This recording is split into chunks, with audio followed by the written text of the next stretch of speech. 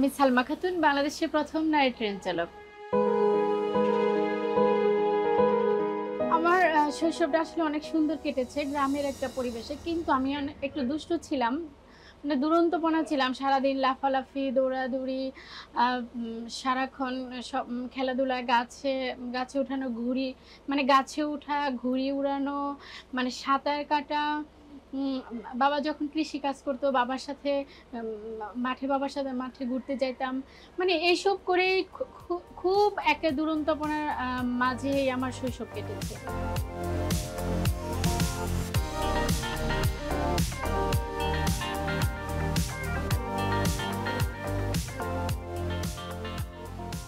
আমি আমার গ্রামের অর্জুন সরকারি প্রাথমিক বিদ্যালয়, গ্রামের থেকে আমি প্রাথমিক মাধ্যমিক শেষ করে কুমুদিনী সরকারি কলেজ টাঙ্গাইল এখান থেকে আমি এসএসসি শেষ করি। শেষ করি এটা দুই হাজার দুইয়ে দুই হাজার তিনে আমি ঢাকাতে এসে জৌলজিতে ভর্তি হই জগন্নাথে। দুই হাজার চারে আমার এই এই পেশায় জয়েন করি। তারপরে আমি দুই তিন বছর তিন বছর বা চার বছর এরকম আমার পড়াশোনা গ্যাপ থাকে। গ্যাপ থাকার পর আমি প্রাইভেটে বিএসএস ভর্তি হই, সেখানে বিএসএস পাস করি, আবার বিএড করি বিএড করে আবার এমএ করি, এই হচ্ছে আমার পড়াশোনা শেষ।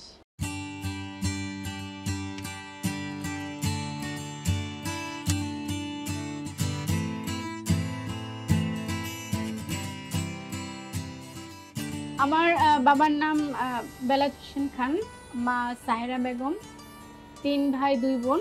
আমার বাবা কৃষি কাজ করতো আর পাশাপাশি বিজনেস করতো। আমার মা গৃহিণী ছিলেন আর তখনকার সময় আমরা পাঁচ ভাই বোনই পড়াশোনা করতাম।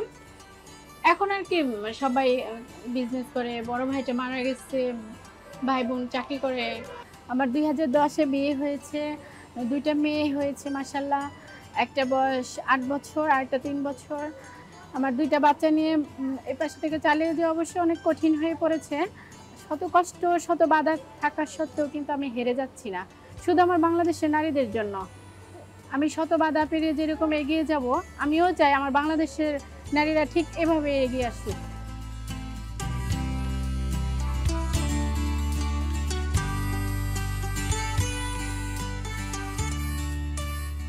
আমি আমার এই পেশা দুই হাজার চার সালে জয়েন করি এবং বাংলাদেশের ইতিহাসে প্রথম আমি নারী ট্রেন চালক হিসেবে জায়গা করে নিয়েছি। এটা আসলে আমি একটা গর্ববোধই করি, কারণ সারা জীবন আমার নাম মানুষ বইয়ে পড়বে।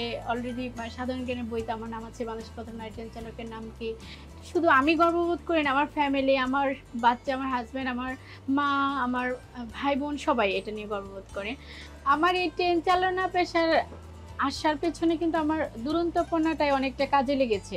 কারণ হচ্ছে আমার ছোটবেলা থেকেই ইচ্ছা ছিল আমি একটা ব্যতিক্রম ধর্মী পেশায় কাজ করব। সেই ইচ্ছা থেকেই কিন্তু আমার এই এই পেশাতে আসা।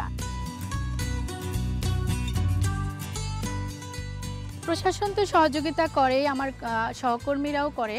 ওরা আমার ব্যাপারে বিশাল একটা ভূমিকা রাখে। এটা না করলে তো আর এখানে আমার টিকে থাকা সম্ভব হতো বা জব করা সম্ভব হতো না।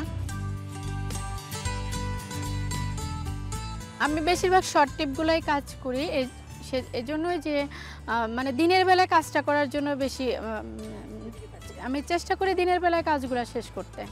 আর লং ট্রিপে গেলে তো রাত্রি যাপন করতে হবে বা রাত হয়ে যাবে বা রাতের বেলা বের হতে হবে। যার কারণে আমি দিনের বেলায় কাজ করি এবং শর্ট ট্রিপগুলো কাজ করার চেষ্টা করি ঢাকার ভিতরেগুলোই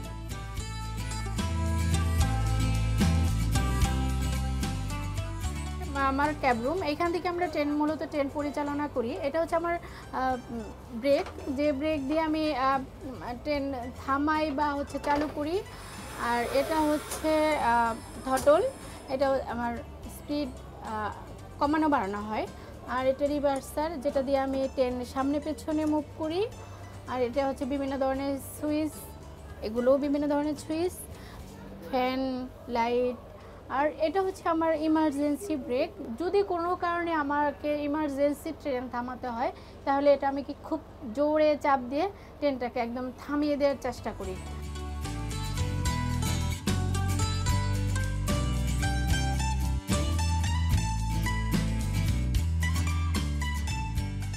আমাকে নিয়ে জনমানুষের অনেক কৌতূহল। কারণ আমি যখন ট্রেন নিয়ে স্টেশনে যাই ট্রেনটা থামাই, তখন হঠাৎ করে যখন আমাকে দেখে তখন হয়তো ওরা ভাবে, এটা কি ছেলে মানুষ দেখলাম না মেয়ে মানুষ দেখলাম? ওরা পুনরায় আমাকে আবার দেখে। আবার ভালো করে শিওর হয় যে আমি মেয়ে মানুষ। তখন হাসে। হাসি বলে দেখা যায় যে আরও দুই একজনকে ডেকে নিয়ে আসে যে, দেখো একটা মেয়ে মানুষ ট্রেন চালাচ্ছে। আবার যখন মহিলারা দেখে, তখন তারা তো দেখে অবাক হয়ে যায়। তখন আমার কাছে আসে, বলে কি, আপা, আপনি ট্রেন চালাচ্ছেন? তো কোনো দিন তো আপনাকে দেখিনি। আজকে দেখলাম আমি যে হ্যাঁ আমি তো অনেক বছর ধরেই ট্রেন চালাচ্ছি। তো আপা, আপনি, আপনাকে তো আজকেই প্রথম দেখলাম। তো খুব ভালো লাগল আপা, আপনাকে দেখে। আপনার জন্য আমরা দোয়া করি আপনি অনেক দিন বেঁচে থাকেন। মানে যে সাহস, আপনার যে সাহসের কাজটা আপনি করতেছেন, যে আসলেই এটা নারী হয়ে কীভাবে করতেছেন, এরকম আর কি।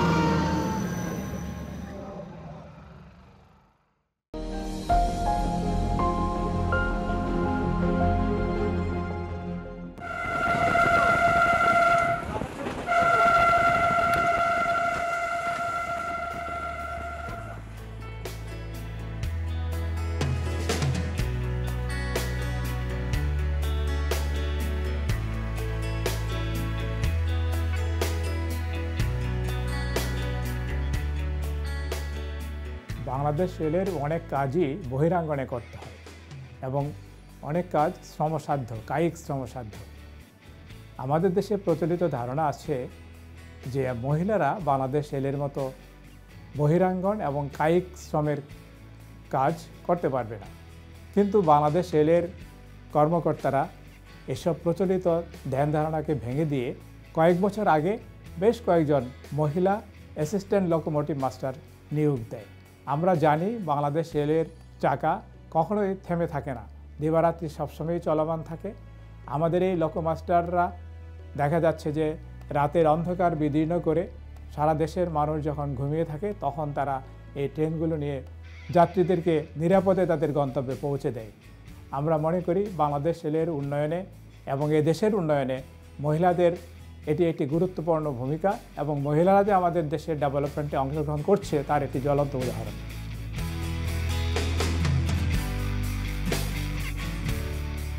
আজকে আসলাম হচ্ছে আপনার ঢাকা থেকে কালিয়াকুর। আবার কালিয়াকুর থেকে ঢাকা যাব। গেলে আজকে ডিউটিটা শেষ হবে। প্রতিদিনই এরকম শিডিউল থাকে। দিনের হচ্ছে ঢাকা কালিয়াকুর ঢাকা, গাজীপুর, টঙ্গী, ঢাকা, নারায়ণগঞ্জ, যা- নারায়ণগঞ্জ, ঢাকা, আসা যাওয়া আসা যাওয়া, এরকম একটা শিডিউল থাকে। মজার ঘটনা যা আমার যাত্রাপথে, সেগুলো সারাদিনই ঘটে। যেমন হচ্ছে, ওই আমি ট্রেন চালাচ্ছি বা বসে আছি, ট্রেন থামিয়ে যাই করি, একেবারে এখন তো ক্যামেরা, মানুষের মোবাইলের অভাব নেই। হ্যাঁ হুড়মুড় খেয়ে ছবি তুলতে আসে অনেকেই। আমি মোহাম্মদ ওবায়দুর রহমান, সহকারী লোক মাস্টার দীর্ঘদিন সালমাপুর সাথে ওনার সহকারী হিসেবে চাকরি করেছি, এখনও করছি। চাকরি সূত্রে ওনাকে দীর্ঘদিন ওনার সাথে চলাফেরা। উনি খুবই একজন কর্মঠ নারী। উনি যে কোনো ব্যাপারে ওনার সাহায্য সহযোগিতা পাওয়া যায়। উনি কিছুই মনে করেন না যে কোনো ব্যাপারে ওনার সাথে আলোচনা করা যায়।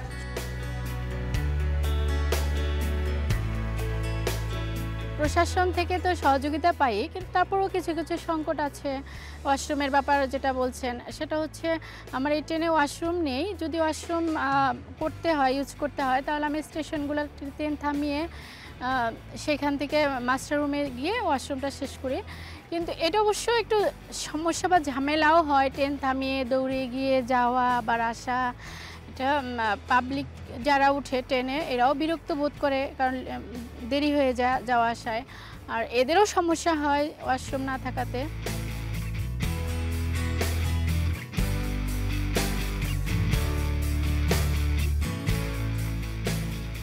মানুষ যখন আমাকে দেখে নেগেটিভ চিন্তাও করে পজিটিভ চিন্তাও করে।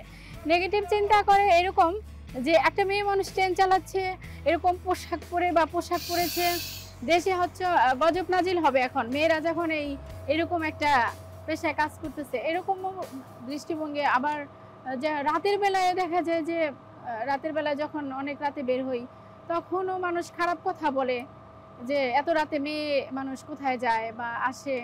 এটার পজিটিভ দিকও আছে নেগেটিভ দিকও আছে।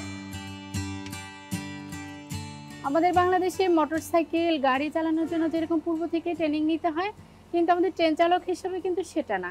প্রথমে আমাদের বাংলাদেশ রেলওয়ে থেকে বিজ্ঞাপন হবে। বিজ্ঞাপনের মাধ্যমে আমরা রিটেন দিব ভাইবা দিব, তারপরে হচ্ছে জয়েন করব। জয়েন করার পরে বাংলাদেশ রেলওয়ে ট্রেনিংয়ের ব্যবস্থা করবে। সেটা দুই বছরের ট্রেনিং নিব আমরা। দুই বছরের ট্রেনিং শেষে পরে আবার যোগদান করব ফাইনালি যোগদান করার পর অ্যাসিস্ট্যান্ট টু হিসেবে যোগদান করব অ্যাসিস্ট্যান্ট টু থাকব চার বছর, তারপরে হবে অ্যাসিস্ট্যান্ট ওয়ান ওয়ান থাকব চার বছর, তারপরে হচ্ছে এসএলএম হব এসএলএম তিন বছর থাকব, তারপরে ফুল লোকো মাস্টার হব। দীর্ঘ চোদ্দ পনেরো বছর লেগে যায় একটা ফুল ট্রেন চালক হতে গেলে। আমাদের আসলে নারীদের জন্য ওরকম কর্মপরিবেশ তৈরি ওঠেনি বা বাংলাদেশ আমার এই পেশাটাতে ওইরকম নারী বান্ধব হয়নি। সেক্ষেত্রে প্রশাসন বা হচ্ছে আমার সহকর্মী যারা, এরা যদি সহযোগিতা আমাকে না করে বা না করতো, তাহলে মনে হয় আমাকে এখানে টিকে থাকা সম্ভব হতো না।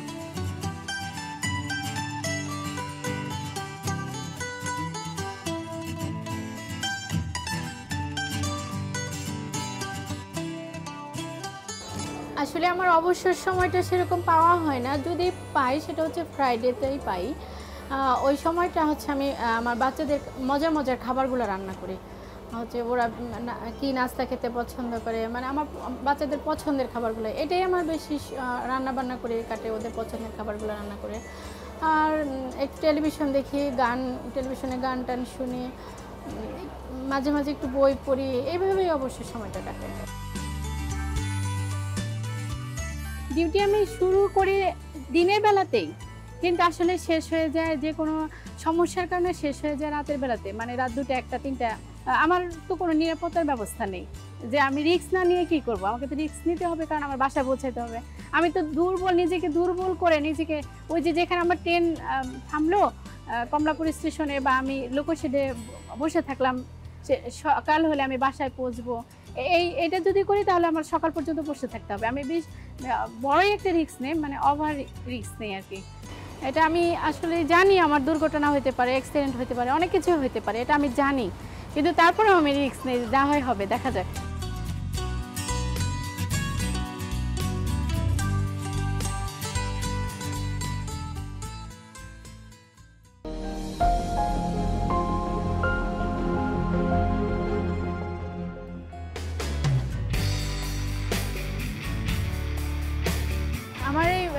আহ, অবশ্যই চ্যালেঞ্জিং তো যারা আসবে নতুন যে নারীরা আসবে নতুনদের জন্য আমার এই পরামর্শটাই থাকবে যে আমাদের এই জবটাতে আসতে হলে অনেক কঠিন একটা মনোবল লাগবে। কাজ করার একটা মানসিকতা থাকতে হবে। কারণ এই পেশাটা অনেক কঠিন অনেক চ্যালেঞ্জিং অনেকটা যুদ্ধ করে চলতে হয় পরি- প্রকৃতি প্রকৃতির সাথে। বা এটা হচ্ছে একেবারেই প্রতিকূল পরিবেশের সাথে কাজ করতে হয়। চব্বিশ ঘন্টায় আমাদের কাজ করতে হয়। নতুন মেয়েদের যারা আসবে, তাদের এরকম একটা মানসিকতা, কাজ করার একটা মানসিকতা থাকতে হবে। যে হচ্ছে এই কাজটা আমি পারব যেভাবে হোক, এটা হচ্ছে করতে হবে। এই ধরনের একটা মানসিকতা থাকতে হবে।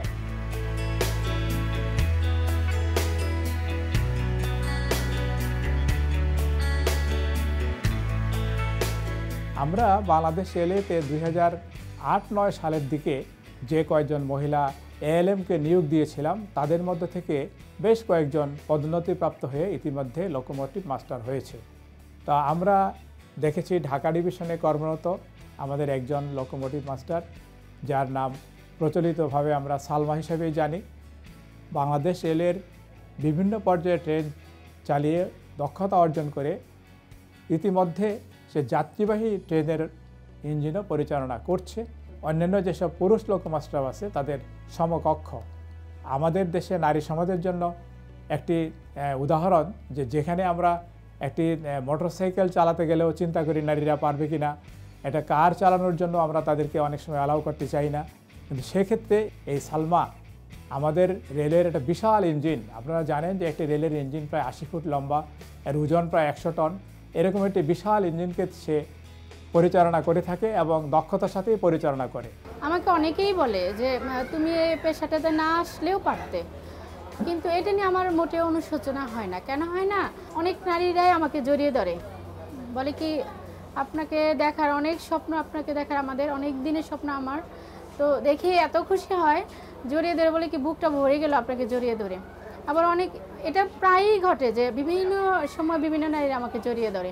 বলে কি, আপনাকে নিয়ে বইতে পড়েছি। অনেকেই বলে যে, আজকে বস হচ্ছে অফিসে আপনার কথাই বলেছে যে, নারীরা যদি ট্রেন চাল, ট্রেন চালাতে পারে, তুমি কেন এই কাজটা করতে পারবে না? তো আরেকটা মেয়ে ট্রেন ট্রেনে উঠে বলেছে, আপু, আপনি তো আমার অনুকরণীয়, কারণ আমি আপনার দেখানো পথেই চলতেছি, আপু। আপনার সাহসেই কিন্তু আমি এত দূর এগিয়ে আসছি। তো এই যে কথাগুলো আমি নারীদের মুখ থেকে শুনি, তো এখানে আমার আর অনুশোচনা করার কিছু নেই। কারণ হচ্ছে আমার মনে হয় যে সত্যিই তো হচ্ছে, আমাকে যখন নারীরা জড়িয়ে ধরে বলতেছে যে আপনার জন্য এই কাজটা করতেছি, আপনার জন্য এই কাজটা করতেছি আমার সম্ভব হচ্ছে করা। যে ফ্যামিলিতে আমাদেরকে বলে যে, অমুক বিয়ে ট্রেন চালাচ্ছে, তুমি কেন এই এই এই কাজটা করতে পারবে না? যার কারণে হচ্ছে আমি এটা, এটাকে নিয়ে অনেকটা প্রাউড ফিল করি। আমাদের এই যে ট্রেনের পাথর ছুঁড়ে মারা এটা তো আপাময় জনসাধারণের গায়ে লাগে। শুধু আমার না এটা যারা ট্রেনের প্যাসেঞ্জার হিসেবে আছে সে তাদেরও গায়ে লাগে। তো আমাদের আমার যেটা মনে হয় সেটা হচ্ছে এই পাথর ছুঁড়ে নিয়ে আমাদের গণমাধ্যমগুলো পত্রিকা অনলাইন বা ব্যাপক প্রচার প্রচারণা চালানো উচিত যাতে কেউ এই এটা দেখে মানে সচেতন হয়। আমার ভবিষ্যৎ চিন্তা হচ্ছে আমার আম, চিন্তা ভাবনা যেটা আমার দুই মেয়েকে মানুষের মতো মানুষ করব। আর আমি যখন ট্রেন চালাই তখন তো আমার আমার পিছনে অনেক পথ শিশুরা ঘুরে, ট্রেনে উঠে, আপা আপনি ট্রেন চালান, আপা আপনি কী করেন? দেখা যায় চার পাঁচটা সারাদিন ঘুরতেছে। যদি বলি তোমরা যাও, চলে যাও, বাসা যাব, এগুলো শুনে না। তারপর দেখা যায় যে বলে যে, আপা, কিছু খাওয়ান বা পাঁচ টাকা দেন, দশ টাকা দেন, এরকম ওরা টাকা চেয়ে নেয়। আমি দিয়ে দেই দেই। তো যদি কখনো আমি সুযোগ পাই বা হচ্ছে আমার সুযোগ আসে, তাহলে ওদের জন্য কিছু করার। আসলে ওদের জন্য অনেক মায়া লাগে। কিন্তু আসলে এই মুহূর্তে তো আমার কিছু করার নেই বা যতটুকু সম্ভব করি, সমাজে প্রত্যেকটা মানুষের দায়িত্ব পালন করা উচিত। সেরকম আমারও একটা দায়িত্ববোধ আছে সমাজের প্রতি।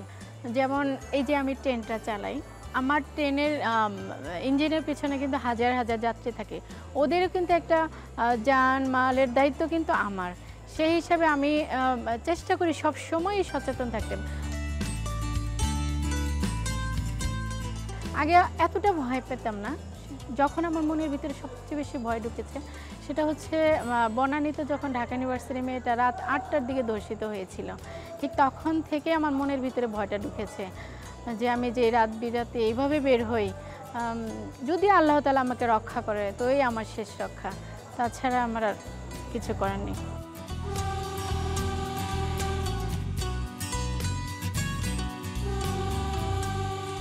আমার দেশ সমাজের কাছে অনেক প্রত্যাশা। কারণ আমি একজন নারী। আমি হচ্ছে আমাকে রাতের বেলা বের হই, দিনের বেলায় বের হই। কিন্তু আমাকে কেন ভয় পেতে হবে? যে আমি ঘর থেকে বের হওয়ার সময় আমি ভয় পাই যে আমাকে কে কী বলবে ছিনতাইকারী ধরবে, নাকি কোনো ছেলের দ্বারা আমি নির্যাতিত হব বা নিপীড়িত হব, এটা কেন আমাকে ভয় করতে হবে? এই দেশটা তো স্বাধীন, আমি তো স্বাধীনভাবে চলতে চাই- তো আমি যেরকম চাই, এরকম প্রত্যেকটা নারী অবশ্যই চায় আমি ঘর থেকে বের হবার আগে আমাকে কেন দশবার ভাবতে হবে যে আমি রাস্তায় গেলে এই বিপদে পড়ব? এটা হান্ড্রেড পার্সেন্ট শিওর আমি বিপদে পড়ব, কেন আমাকে এটা ভাবতে হবে? আমরা নারীরা যেন ভালোভাবে চলতে পারি, একেবারে নিরাপদে চলতে পারি, নিঃসংকোচে।